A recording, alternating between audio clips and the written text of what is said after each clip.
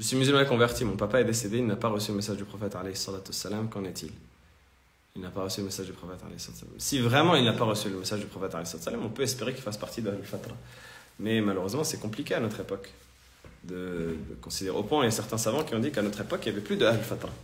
Al-Fatra, c'est ceux qui n'ont pas reçu le message de l'islam. C'est cela, Al-Fatra.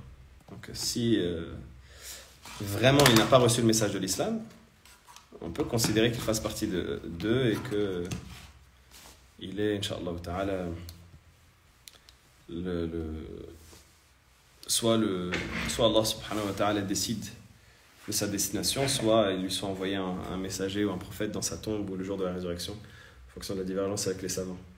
Que veut dire recevoir le message? Parce que maintenant, quelqu'un qui, qui, ne connaît rien de l'islam, si ce n'est le nom ou ce qu'on en dit à la TV, il n'a pas reçu vraiment le message. Il a reçu le message à partir du moment où il a entendu parler du prophète Parce que les savants ils disent à partir du moment où il a entendu parler du prophète et de l'islam, c'était son obligation de se renseigner sur cela.